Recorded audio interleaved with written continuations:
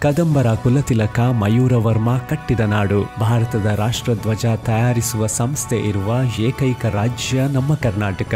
ಅತಿ ಹೆಚ್ಚು ಜ್ಞಾನಪೀಠ ಪ್ರಶಸ್ತಿಗಳನ್ನು ಪಡೆದ ಎರಡನೆಯ ಭಾಷೆ ಕನ್ನಡ.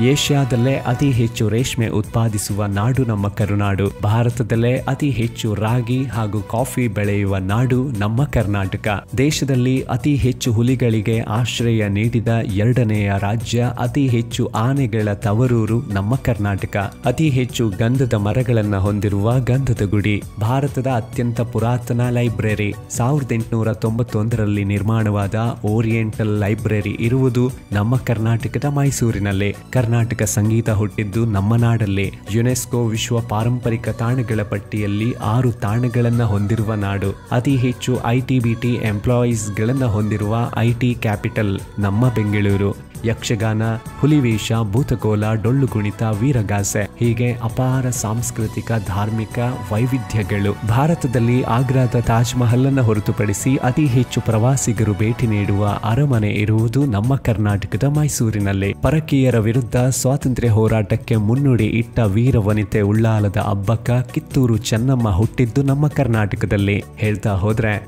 ಅದು ಮುಗಿಯದ ಕತೆ. ನಡೆಯಲ್ಲೂ ನುಡಿಯಲ್ಲೂ ನಂಬಿಕೆಯ ನಾಡು ಕರುನಾಡು. ಕರ್ನಾಟಕ ರಾಜ್ಯೋತ್ಸವದ ಹಾರ್ದಿಕ ಶುಭಾಶಯಗಳು.